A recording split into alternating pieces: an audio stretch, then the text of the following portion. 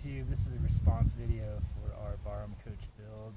Uh, a lot of questions about whether it was finished or not. it was.